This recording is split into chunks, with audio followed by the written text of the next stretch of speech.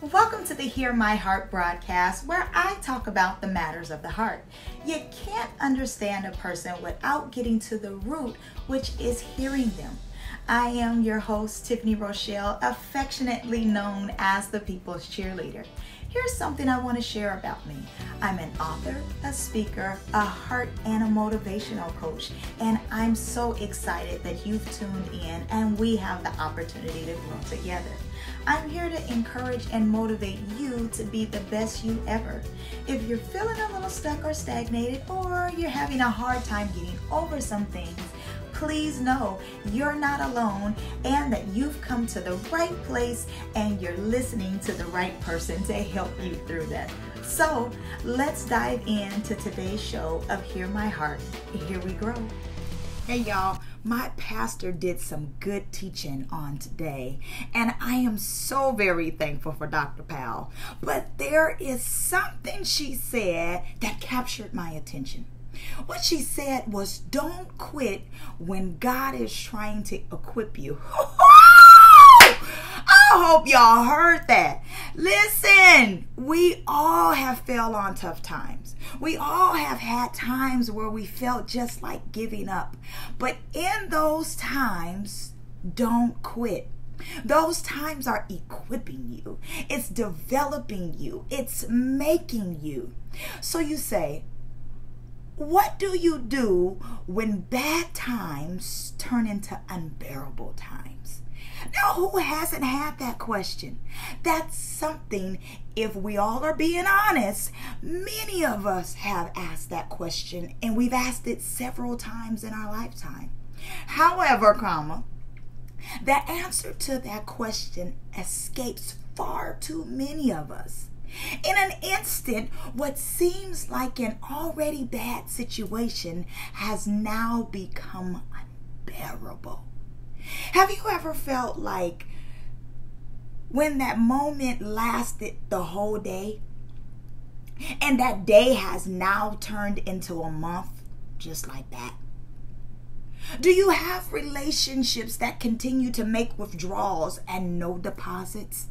And you find yourself asking God, How can I keep going? The rubber ain't meeting the road, and I feel like I'm about to drown. When we become desperate friends, we cry out in desperation, which is an entirely different kind of prayer. When you're desperate, you pray differently. There is something that stirs up in your soul that's crying out for deliverance and will push you past those quitting places. Friend, I want to share with you God hears the cries of his people. He has done it before now, and he's moved on their behalf. Sweetheart, I want to share with you, he will do it for you too. There ain't no mountain high enough. There ain't no valley low enough. There is no river that's wide enough to keep him from getting to you and helping you to push past the quitting place. So pray and keep praying. Believe and keep believing. Forgive and keep forgiving. When you get in those times of quitting, get wisdom from godly counsel.